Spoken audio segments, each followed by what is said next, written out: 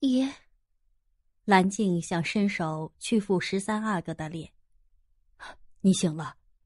蓝静只是刚刚的起了个意念，还没等付出行动，就被十三阿哥一把拽住了手。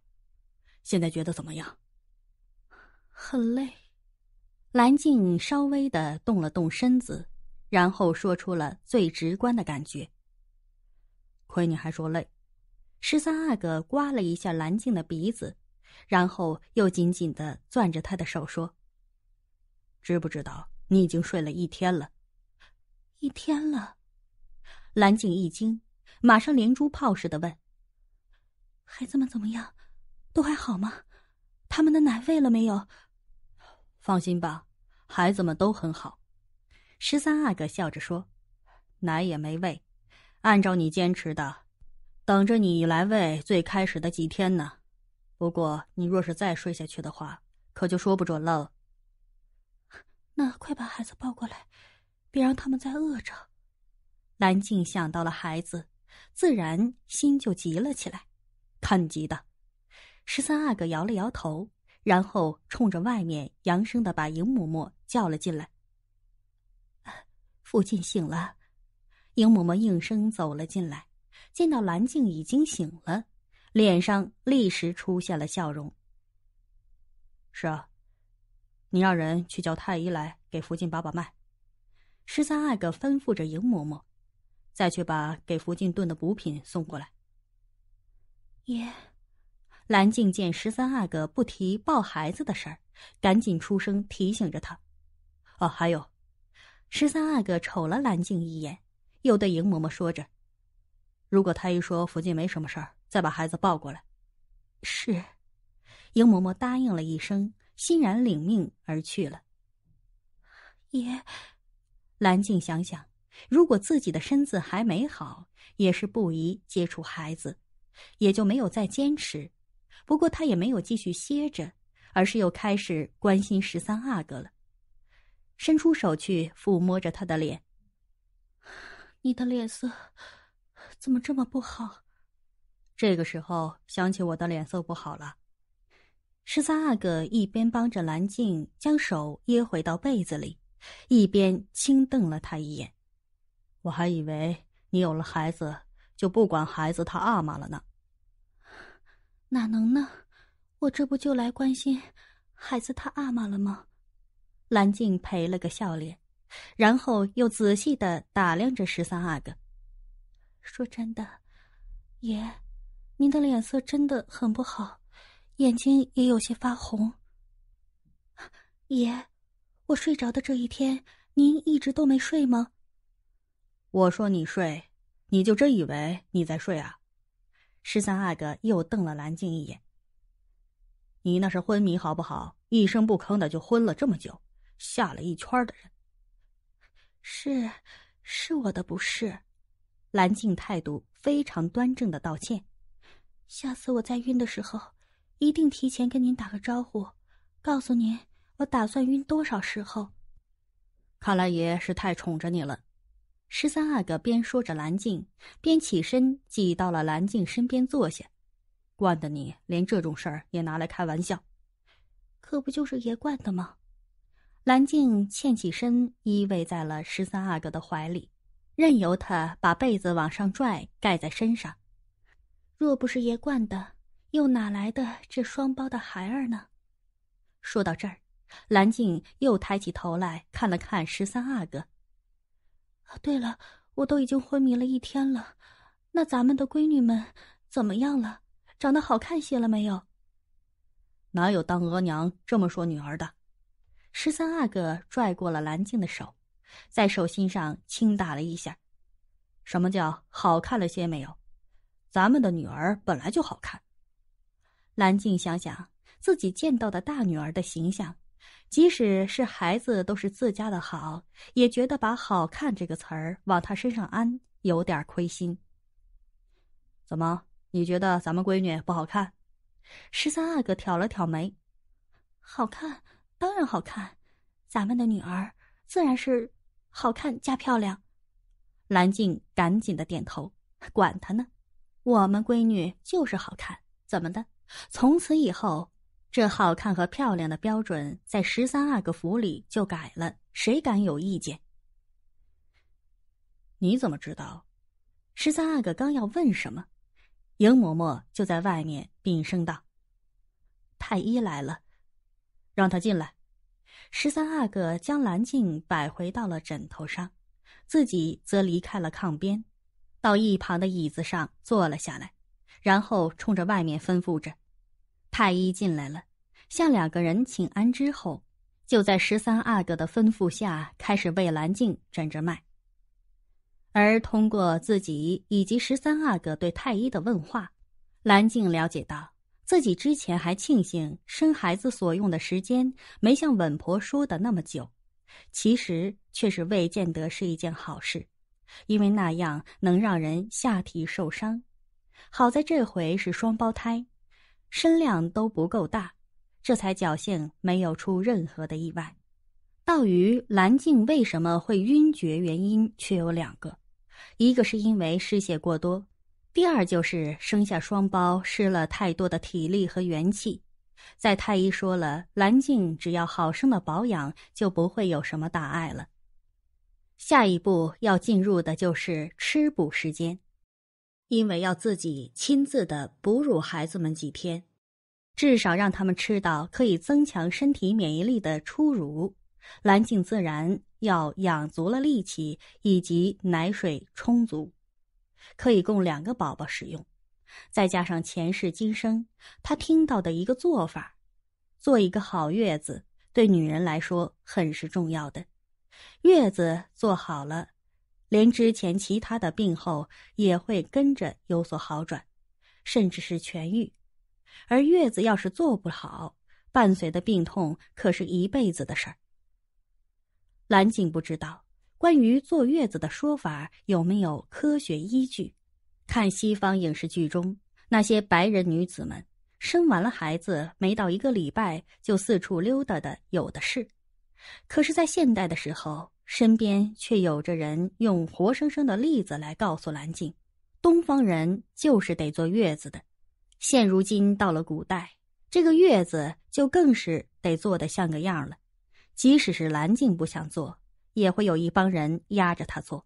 好在他也并不想搞这个特立独行，所以即使那个补品的味道他不是很喜欢，而且因为要哺乳的关系，里面还没有放盐，又更是没有滋味了一些。但蓝静还是吃了进去。等补品吃完了，蓝静心心念念的宝贝们终于被抱了进来。快抱过来！蓝静见到两个奶娘，一个人抱一个，抱进了两个孩子，赶紧伸长了手要去接。哎，你急什么？十三阿哥在一旁的椅子上坐得稳稳的，眼睛却横了过来。孩子有两个，你抱得过来吗？也感情忘了，人有两只手，用来抱两个孩子正是刚刚好。蓝静回了十三阿哥一个甜甜的微笑。然后又将目光转回到两个奶娘的身上，继续吩咐着他们：“来，都给我。”如果十三阿哥之前没说那句话，两个奶娘说不得就会直接的领了蓝静的命的。可是现在他们口中却是答应着，脚下迟疑着，眼睛则是看向了十三阿哥，等着他的示下。照福晋说的做吧。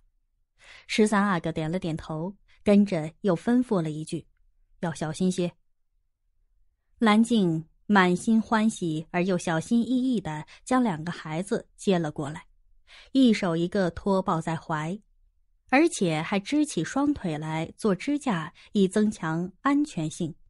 把这一切做完了之后，蓝静才将目光放到了孩子们的脸上。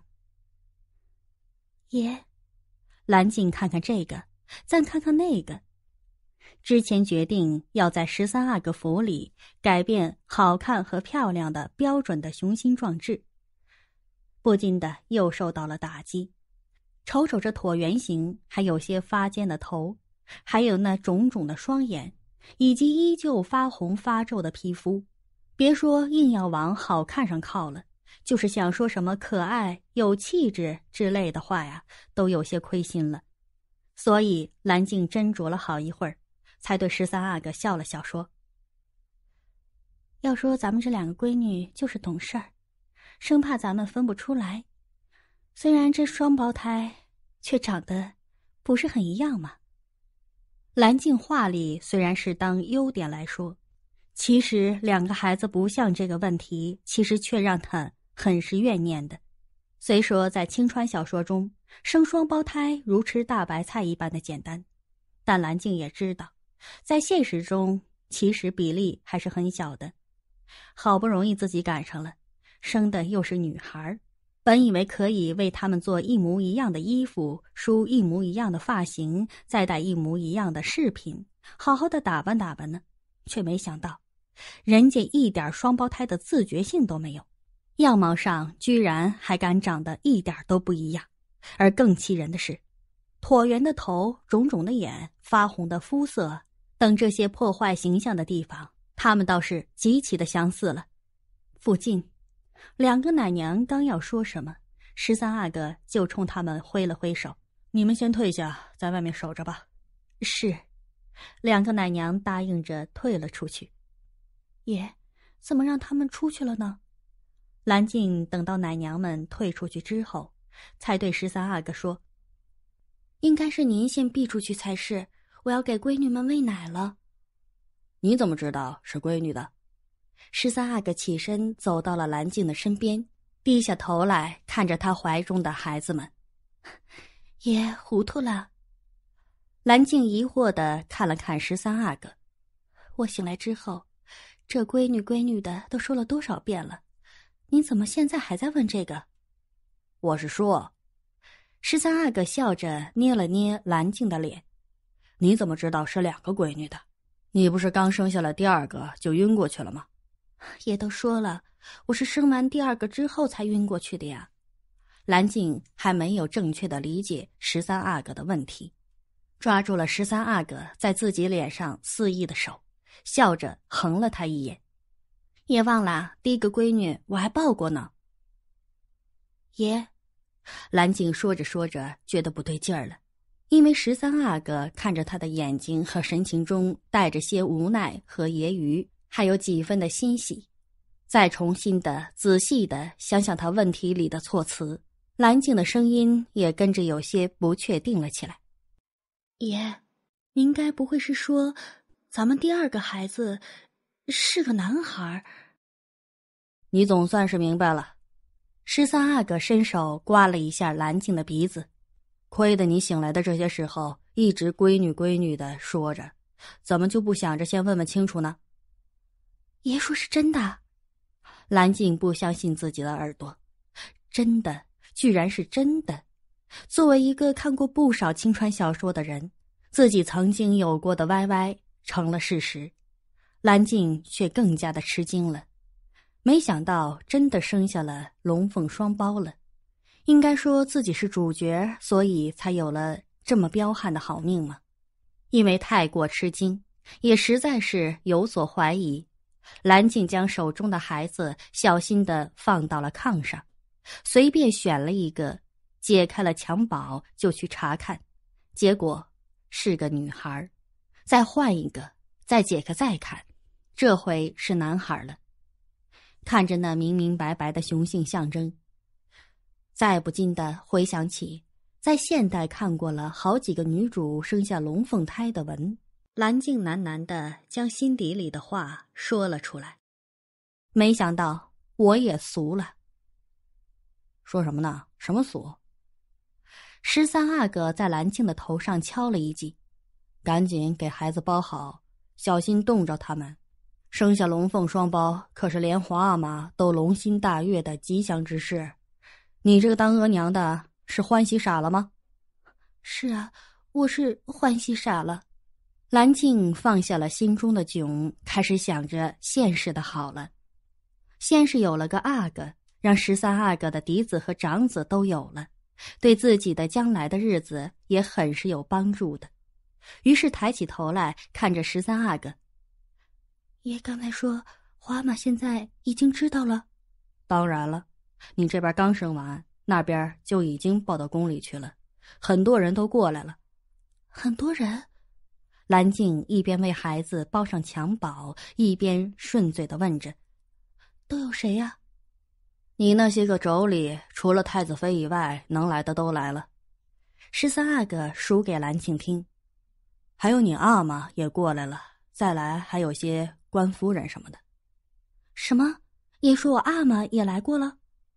蓝静没有心思再听十三阿哥下面的话了，赶紧截住他问。他没怎么样吧？那么大岁数了，这一喜一惊的折腾，他能受得住吗？放心，你阿玛比你可是沉稳多了。十三阿哥瞪了蓝静一眼，又接着说：“而且我已经吩咐过了，只要你醒来，就会马上有人去赵家氏府里送信了。”爷，蓝静对阿玛放了心，又开始担心起了十三阿哥，越看越觉得他应该好生的睡上一觉。当然，自己这坐月子的房间是不能留十三阿哥的。我已经没事了，您还是赶紧去歇一歇吧。瞧着您这脸色，可是真的不好。好，我这就去睡一会儿。十三阿哥点头起身，又嘱咐兰庆道：“你给孩子喂过奶之后，也早点歇着吧。这刚醒过来，还是不要劳累的好。再说了，等你醒过来的消息传出去。”怕是又要有人前来探望了。好，我记得了。蓝静也很听话的点着头。侍候着福晋和阿哥格格们。十三阿哥没有走出房间之前，先将迎嬷嬷和那两个奶娘叫了过来。不过，即使十三阿哥不叫，蓝静也肯定会叫的。他虽然坚持着要自己喂孩子，可是却一点经验都没有。也希望能有专业人士在场做以指点。当大女儿试了好几次，终于找准了位置，开始吸吮起来的时候，蓝静对“母亲”这一词的概念就又有了新一份的体会。看着那埋头苦吸的小脸儿，用手轻轻的顺了顺她的胎发，刚才还觉得她称不上可爱的样貌，现在看起来却是无比的顺眼。你们看呀，蓝静怕吓到孩子，又忍不住要宣泄自己的兴奋，就用小小的声音叫过了迎嬷嬷和那两个奶娘。看他们多可爱，这小小的个头吸起奶来却是很有劲儿呢。是啊，两个奶娘也忙小声的凑着去。奴才们还是头一回见到这么漂亮、这么懂事、这么聪明的孩子呢。他们才刚生下来一天，蓝静看了看这两个奶娘，你们就能看出这么多了？奴才可不敢对福晋胡言。一个奶娘让蓝静的话给问的噎住了，而另一个奶娘则马上接过话来：“小阿哥和小格格，除了刚生下来的时候哭了两声，其余的时候并不像其他孩子一样吵闹，这可不就是懂事吗？”至于说到聪明，适才奴才们还没来得及禀报福晋呢。当奴才们要带小阿哥和小格格来见福晋的时候，他们两个先好像是笑了笑，然后这一路上也都是很兴奋，可见他们俩人虽小，心里却是明白的。虽然我知道你们是拿好话来哄我，但我听着也是开心。蓝静笑了笑。随后又一面正色的对着两个奶娘说着：“不过你们记着，以后这两个孩子的种种，绝对不许对别人说起。该说的，我和爷自然会去说，你们只管把他们照顾好就是了。”是奴才们谨遵福晋的吩咐。两个奶娘赶紧对蓝静行礼。